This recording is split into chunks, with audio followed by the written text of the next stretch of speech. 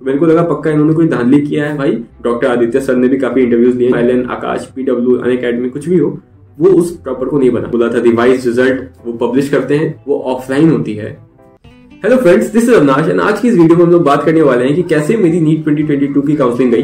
New rules के आ जाने से क्या क्या दिक्कतें आई मुझे? कैसे मेरे से काफ़ी नीचे रैंक वाले को एम्स रायबरेली अलॉट हो गया और मुझे इवन स्टेट कोटा से पीएमसीएच अलॉट नहीं हुआ, जो कि मेरे स्टेट का बेस्ट मेडिकल कॉलेज है। तो ये कोई रिग्रेट वीडियो नहीं है, मैं अभी काफ़ी पॉजिटिव हूँ अपने कॉलेज को लेकर मैं ये वीडियो बना रहा हूँ ताकि आपको मैं एक इन्फॉर्मेशन शेयर कर पाऊँ कि कैसे किसी एस्पिरेंट का माइंडसेट रहता है काउंसलिंग के टाइम क्या क्या चीज़ें उन्हें ध्यान में रखनी चाहिए जब वो काउंसलिंग करवा रहे होते हैं। तो without any further do let's get started अब वीडियो में आगे जाने से पहले मैं आपको अपने कॉलेजेस के चॉइसेस बताता हूँ जो कि मेरे माइंड में थी, ताकि आप इससे समझ पाओ कि मुझे कौन कौन से कॉलेज चाहिए थे, कौन से नहीं चाहिए थे। तो सबसे पहले जो मेरी टॉप प्रायोरिटी पे थी, वो थी एम्स पिछले साल के कट ऑफ़ के हिसाब से कुछ चार पाँच एम्स थी जो मुझे मिल सकते थे।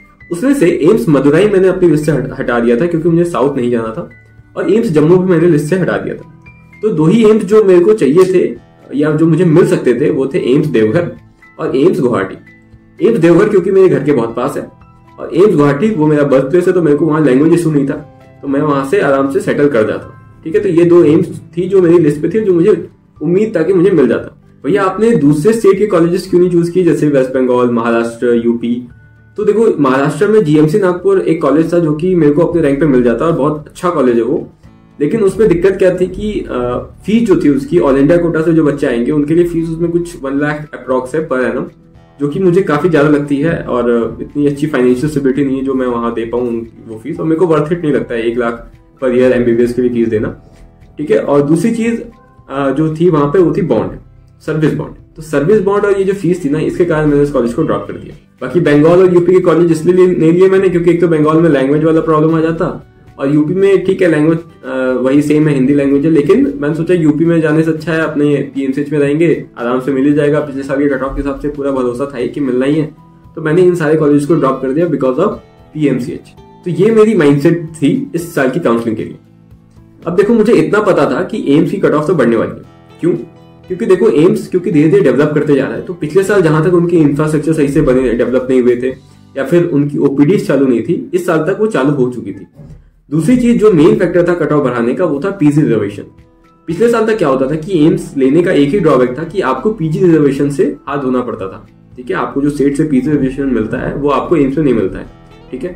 लेकिन इस साल से क्या था एम्स ने अपना एक पीजी रिजर्वेशन कर दिया था, जिसके कारण इसकी कट ऑफ़ बढ़ने वाली थी, इतना तो पक्का था। तो ये सब चीज़ सोचने के बाद राउंड वन की ऑल इंडिया कोटा की चॉइस फिलिंग हुई और मैंने कुछ कॉलेजेस भर दिए उसमें, जो भी मेरे को चाहिए थे। कुछ ऐसे कॉलेज भी मैंने डाल दिए थे जो कि मिल भी जाते तो मैं नहीं लेता। उसमें से एक कॉलेज था गुवाहाटी मेडिकल कॉलेज और राउंड वन में मेरे को वही अलॉट हुआ। ठीक है, मेरे को एम्स का उम्मीद भी नहीं था राउंड वन में क्योंकि मुझे पता था कट ऑफ़ ऊपर जाएगी और पिछले साल के हिसाब से मेरे को राउंड वन में अलॉट नहीं होता। वो राउंड टू में अलॉट होता। मेरे को बस देखना यह था कि राउंड वन में कट ऑफ़ कितनी जाती है एम्स की। और जैसा एक्सपेक्टेड था कट ऑफ़ ऊपर गई और ऊपर ही नहीं गई, बहुत ऊपर गई। तो जो राउंड वन में आपकी एम्स देवघर की कट ऑफ़ गई थी, वो थी four thousand nine hundred eighteen और एम्स गुवाहाटी की कट ऑफ़ गई थी सिक्स थाउज़ेंड टू मेरी रैंक थी six thousand five hundred seventy eight ठीक है तो डिफरेंस था। मेरे को लगा कि एम्स देवघर तो अलॉट नहीं होगा, क्योंकि काफ़ी ऊपर चली गई है रैंक लेकिन एम्स गुवाहाटी जो है, वो अलॉट हो सकता है सेकेंड राउंड में। तो मैं अभी भी होप में था कि एम्स अलॉट हो जाएगा मुझे सेकेंड राउंड में। तो मैंने क्या किया? मेरे को गुवाहाटी मेडिकल कॉलेज लेना भी नहीं था। मैं की स्टेट कॉलेज लेने से अच्छा पीएमसी ले लूँगा। तो जैसे ही all India quota round one खत्म हुआ, वैसे state quota round one start हुई, वहाँ पे चॉइस फिलिंग हुई। चॉइस फिलिंग में मैंने पीएमसी सबसे टॉप पे रखा सेकंड एनएमसी रखा आईजीएमएस मैंने फिल नहीं किया था। वही रीजन था कि फ़ीस उसकी ज़्यादा थी, मेरे को वर्थ इट नहीं लगता फ़ीस एमबीबीएस के लिए इतनी देनी, क्योंकि गवर्नमेंट मेडिकल कॉलेज के लिए मेहनत किया फ़ीस इतनी ज़्यादा देने का मेरे को कोई सेंस बनता नहीं है। हाँ लोगों को अलग अलग ओपिनियंस हो सकते हैं, लेकिन मेरे को पर्सनली फ़ीस ज़्यादा लगती है आईजीएमएस और जीएमसी नागपुर की। जिनको नहीं पता, उन्हें बता दो कि इसकी fees one lakh per annum approx है। तो स्टेट कोटा राउंड वन के बाद आपकी स्टार्ट होती है all India quota round two अब इस राउंड में जाके मैंने फिर से चॉइस फिलिंग की। इस बार मैंने उन सारे कॉलेजेस को हटा दिए जो कि मैंने रखे थे पिछले राउंड में, लेकिन मेरे को लेने नहीं थे। ऐसा मैंने इसलिए किया क्योंकि अगर इस बार आपको कोई भी कॉलेज अलॉट हो जाता है और अगर आप उसको नहीं लेते हो तो आपकी जो सिक्योरिटी बनी थी टेन थाउज़ेंड रुपीज़ की, वो फॉरफिट हो जाती है, आपको वापस नहीं मिलती। तो मैंने सबसे पहले तो ये किया और जितने भी मेरे को एम चाहिए थे वो रखे मैंने। और ऑल इंडिया कोटा में और कोई कॉलेज चाहिए नहीं था दिल्ली कॉलेज मुझे मिलते नहीं। तो मैंने जो मेरे को चाहिए थे कॉलेज बस वो रखे, बाकी सब हटा दी। अब राउंड टू के लिए जो देवघर एम्स में और गुवाहाटी एम्स में सीट खाली थी, मैं बताना भूल गया आपको। देवघर एम्स में कुछ पाँच सीट खाली थी आउट ऑफ़ ट्वेल्व मेरी कैटेगरी में। और गुवाहाटी एम्स में तीन सीट खाली थी। तो मेरे को था कि जब लोगों ने बस मतलब सीट फिल किया था, किसी ने जाकर एडमिशन लिया नहीं मतलब कि कट ऑफ़ नीचे जाएगी राउंड टू में। ठीक है तो इस थॉट के साथ मैंने रिज़ल्ट को खोला। इससे पहले कि हम लोग कहानी में आगे चले, जो बच्चे मुझसे पूछते रहते हैं कि भैया हम लोग बायो की प्रैक्टिस कहाँ से करें ताकि हमें आउट ऑफ़ एनसीआरटी क्वेश्चन ना मिले तो उनके लिए एक बुक आई है दिशा पब्लिकेशन की तरफ़ से एनसीआरटी एक्सट्रैक्ट पूरी एनसीआर से इन्होंने 6000 प्लस क्वेश्चंस आपके निकाल के दिए हैं, जिसमें सबके डिटेल सॉल्यूशंस भी प्रेजेंट है और सारे क्वेश्चंस एनसीआरटी से ही हैं आउट ऑफ़ एनसीआरटी क्वेश्चंस आपको नहीं मिलेंगे, ये मैंने भी दो तीन चैप्टर्स इसमें सॉल्व करके देखे। एक बहुत बढ़िया फीचर जो कि मुझे लगा कि हर एक क्वेश्चन के नीचे इन्होंने एनसीआरटी की पेज नंबर बताई हुई है, जहाँ से इस क्वेश्चन को उठाया गया है। तो उससे आप रेफरेंस ले सकते हो अपने एनसीआरटी में कि अच्छा ये क्वेश्चन यहाँ से बना है अच्छे, ऐसे क्वेश्चन बनते हैं एनसीआरटी से। इसमें आपको 2016 के बाद के PYQs association reason questions match the following type questions NCERT example के क्वेश्चन जो पूछते रहते हैं, भैया कहाँ से करें? इसमें एनसीआरटी एग्ज़ाम्पल के क्वेश्चन भी दिए हुए हैं तो वो भी आपको एक बेनिफिट मिलेगा इसमें। ऑल्सो दे क्लेम कि 80 परसेंट से ज़्यादा क्वेश्चन आपके नीट 2022 में इसी बुक से आए थे तो जो कि बहुत बड़ी बात है। तो डेफिनेटली इस बुक को आप चेकआउट कर सकते हो लिंक मैंने डिस्क्रिप्शन में दे दिया है। लेकिन मेरे को ये पहला झटका लगा अपने काउंसलिंग में कि जो एम्स देवघर की कट ऑफ़ थी वो फाइव टू नाइन फोर पे जाके रुक गई। और एम्स गुवाहाटी कट ऑफ़ जो कि राउंड वन में सिक्स थाउज़ेंड टू थी, वो बढ़ के आपकी फाइव एट वन सेवन हो गई थी। जो एम्स मुझे मिलता वो था एम्स मदुराई लेकिन मैंने उसको फिल नहीं किया था चॉइस में। तो दो इंपॉर्टेंट पॉइंट जो आपको इस चीज़ से समझना है, वो ये है कि ज़रूरी नहीं है कि जो राउंड वन में कट ऑफ़ गई थी, उससे राउंड टू में कमेगी ही, जैसा कि आपने अभी देखा। दूसरी चीज़, अगर आप एम्स को टारगेट कर रहे हो तो जो भी इस साल रैंक गई है, उससे आप थाउज़ेंड से ट्वेल्व हंड्रेड रैंक बढ़ा लो, क्योंकि अगले साल भी रैंक बढ़ने वाली है, कमेगी तो नहीं एम्स की। तो सिंपल सी बात थी, मेरे को एम्स अलॉट नहीं हुआ था ऑल इंडिया कोटा के राउंड टू में। तो इसलिए मैं अब कहा गया था स्टेट कोटा राउंड टू में चला गया था। और अभी तक आपकी सीट मैट्रिक्स भी आ चुकी थी, आपके बिहार की, जिसमें पीएमसीएच में अभी भी चार सीट खाली थी। और जैसा कि मैंने पहले बताया था क्लोजिंग रैंक 36 गई थी तो मेरे को था कि 41 तक तो मिल ही जाना चाहिए पीएमसीएच तो मैं एकदम पॉजिटिव होप के साथ मैंने चॉइस फिलिंग की पीएमसीएच टॉप पे रखा सेकंड पे एनएमसीएच रखा और मैंने कोई कॉलेज भरे नहीं। कुछ दिन बाद रिज़ल्ट आता है एंड बूम मेरे को फिर से एनएमसीएच पटना अलॉट होता है।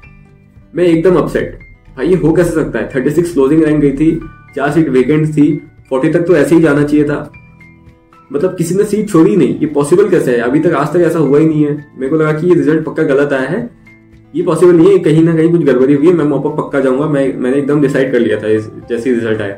ऊपर से बीसीईसी जो कि बिहार की कंडक्टिंग बॉडी है मेडिकल काउंसलिंग के लिए, उन्होंने मेरिट लिस्ट भी जारी नहीं की थी। मतलब कि जो आपके लिस्ट ऑफ़ आते हैं कि क्लोजिंग रैंक की थी ओपनिंग रैंक की थी, ये सब कुछ उन्होंने नहीं निकाला था राउंड टू के लिए। राउंड वन में दिया था उन्होंने राउंड टू में नहीं दिया था। इनकी बहुत गंदी आदत थी, इन्होंने पिछले साल भी नहीं दिया था। तो मेरे को लगा पक्का इन्होंने कोई धांधली किया है, भाई, मेरी सीट कहीं और चली गई है, मुझे तो मॉपअप में जाना ही पड़ेगा, मेरी सीट मुझे मिलेगी तभी। लेकिन क्या होता है कि अगले दिन ही फिर आपके उस पर नोटिस आता है कि जो हमने सीट आपको कल जो रिज़ल्ट दिया था प्रोविजनल रिज़ल्ट वो हम वापस लेते हैं, क्योंकि कुछ टेक्निकल इशू था।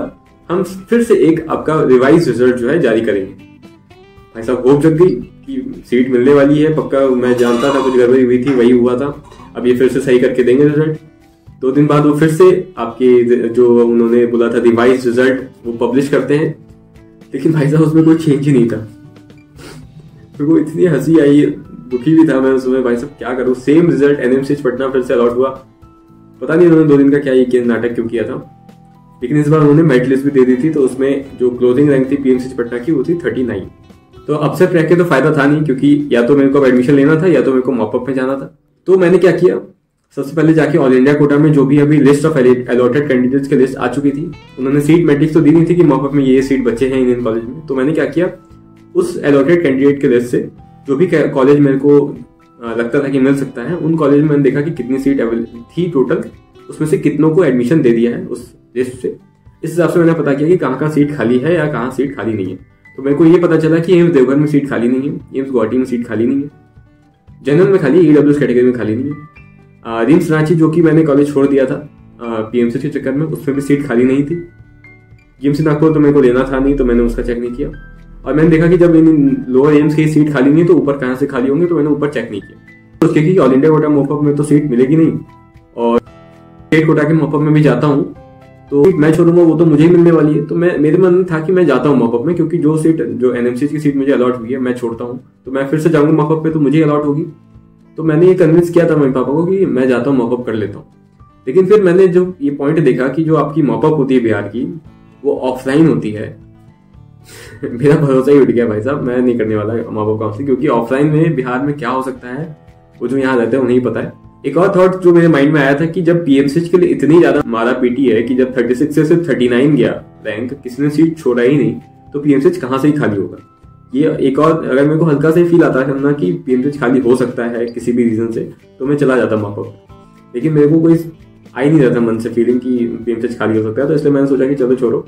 यही मिलना है मॉपअप में फिर से एनएमसीएच ही तो अभी जाके एडमिशन ले लेते हैं। क्या अभी वैसे ही परेशान हो गया था सुन सुन के कि मिला कॉलेज मिला कॉलेज सिलेक्शन हुआ भी है, नहीं हुआ है रिश्तेदार तो भाई साहब अलग अलग क्वेश्चन पूछते हैं कि भाई साहब सिलेक्शन हुआ है तुम्हारा ना? झूठ तो नहीं बोल रहे तुम? उन्हें क्या बताऊँ मैं? कि मेरे को सिलेक्शन हो गया है, ऐसा ऐसा चल रहा है। उन्हें समझ नहीं आता राउंड वन राउंड टू उन्हें लगता है कि राउंड वन नहीं मिला तो कॉलेज नहीं अलाउड होगा। ठीक है तो मैंने ये सब सुन सुन के मैं परेशान हो गया था, मैंने जाके एडमिशन ले लिया। जो ये सोच रहे हैं यहाँ पे कि भैया आपने जाके एडमिशन लेने के बाद अपग्रेड का ऑप्शन क्यों नहीं चूज़ किया? तो उन्हें मैं बता दूँ, इस साल जो रूल आया था नया, इसके हिसाब से ये था कि आप या तो कॉलेज ले सकते थे राउंड टू में या तो छोड़ सकते थे। मतलब आप जाके एडमिशन लेके अपग्रेड का ऑप्शन चूज़ नहीं कर सकते थे।